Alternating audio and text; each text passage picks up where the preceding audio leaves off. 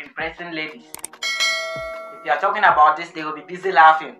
Oh, Yeah. how to impress a lady? You need to compliment her, say good things about her. You have, you have to kiss her, you have to love her, you have to tease her, make fun of her.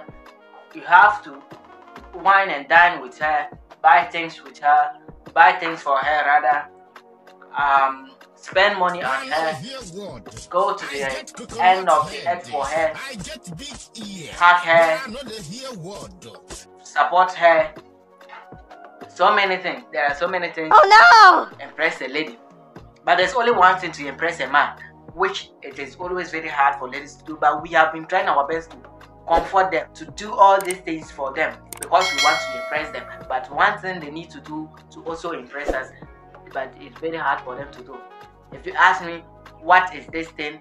I will show you, or I will tell you that this thing is that they should always show up to us. Oh, Mumu, not too much.